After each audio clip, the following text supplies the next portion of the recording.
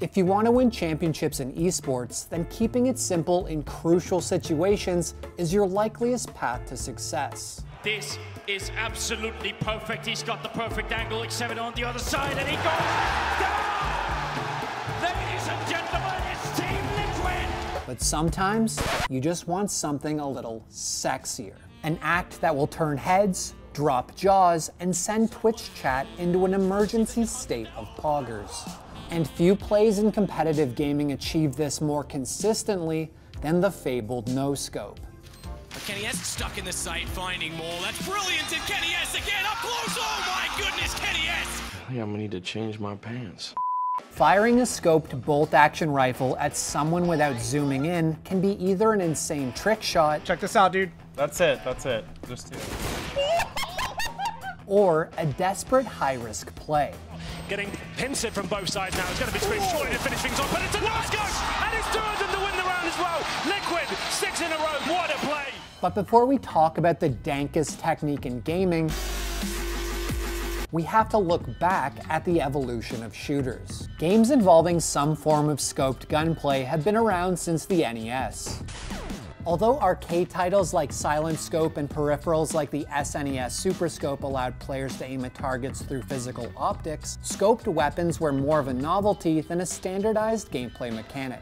Most guns and shooters were just aimed from the hip, with no iron sights or scopes to be found. But in the late 90s and early 2000s, games like Medal of Honor, Jedi Knight, and Counter-Strike among many others began to introduce the scoped weapon views that we're familiar with today. Even though scopes finally had a functional use and were no longer just a weapon aesthetic, not all players were interested in using them. And while it's impossible to know when exactly no-scoping was coined, the term became part of gamer discourse by the mid-2000s, strangely even finding its way into the occasional rap song. No scope, I get up close, my vision tunnel. But it was the Call of Duty and Halo franchises that took no-scoping to the next level. With bolt-action rifles packing a serious punch in both series, players were drawn to using them at all ranges, and consequently, no-scoping became a celebrated tradition. What do you get when you get real stressed? Swing for the trigger and hope for the best. Call them maneuver and hump their chest. I think you just got a no scope. Halo 2's sniper rifle in particular offered a generously accurate hip-fire reticle, and as a result, it became an effective method of engagement regardless of target distance. But no-scoping someone wasn't just a strategy, it was a statement, and in Call of Duty, this statement became dank. Unlike in Halo 2, Call of Duty's sniper rifles lacked useful hip-fire reticles, so no-scoped shots were far less likely to hit and ultimately more satisfying when they found their target. One of the pioneers of these hype no-scope reels was YouTuber zzirGrizz, who became known for his modern warfare gameplay uploads. Grizz's take on trick shots, which he dubbed G-shots, became influential enough that he had to release a video showing full-length gameplay to prove that the clips weren't staged. Before long, the no-scope was an essential component of the trick shot montage. Players wanted to see their peers hitting crazy shots, and content creators were willing to record and package that kind of gameplay into videos that drew millions of views. Sniper clans like OpTic Gaming and FaZe became institutional pillars of Call of Duty thanks in part to this video format and how it helped them build their communities. These montages inspired players to push the envelope and capture the most outrageous frags. And if the highlights from FaZe ILLCAMS weren't enough to make your head explode, their obnoxious soundtracks definitely would.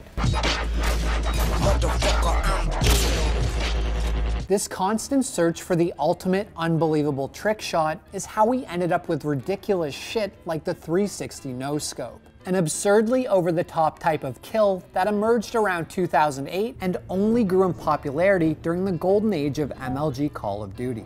It's essentially gaming's equivalent of the Vince Carter dunk, the left hand doing all this. Oh, it's over! Tony Hawk's 900, or the mind-bending things they pull off in Dude Perfect videos.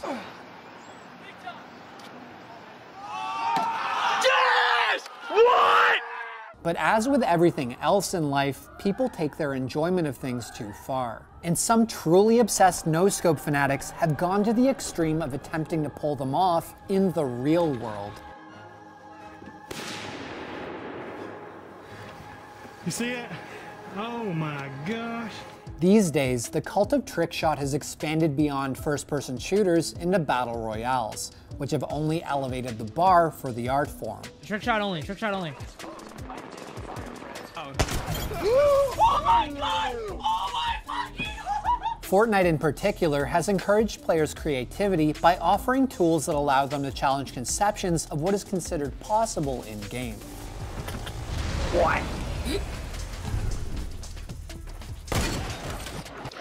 No way. Oh! Oh my gosh!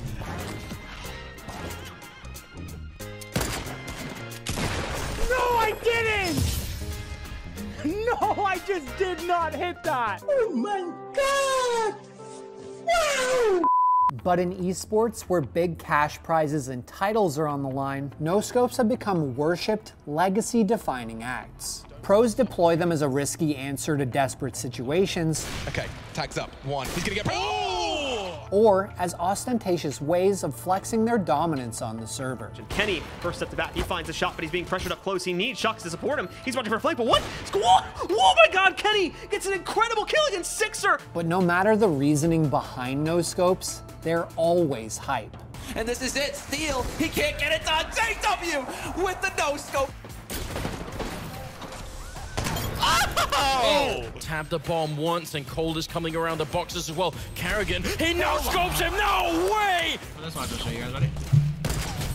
Oh! See, double smokes in the same place there. s1mple just jumping casually into the side. He's gonna fall down again. At the. What is this clutch from s1mple? Are you serious? What is that? You can't do that, s1mple. That's not allowed. But s1mple, I, I don't know, man. If he just comes in with that, there's That was nothing a no can be done. scope. It was a no scope. He had one button. There was no zoom.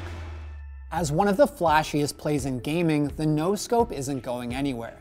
Because as long as there are scopes on guns, there are going to be people that refuse to use them for style points. Speaking of flashy plays, I can't believe we didn't show the Coldzera jumping off. Fortunately, we used it enough this year to hit our quota. What quota?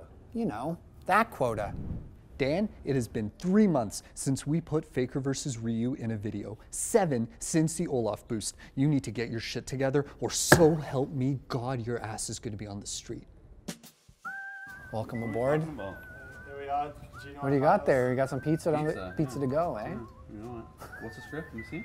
It's uh, no scopes. It's a lot of nonsense. Esports is just a lot of nonsense terms. But before we talk about the dankest technique in gaming, technique in gaming. And what's this next thing? Sound up, wrecked bitch 420. Smoke weed every day. What is that? Oh, that's just like a clip. What's the 420 mean? What do you think? What's 420? That's the, like the, Oh, marijuana like Yeah. 420? You know Snoop Dogg? Gino doesn't want to Snoop Dogg. SNES, I know what that means. Here we go. We're speaking to Gino's generation.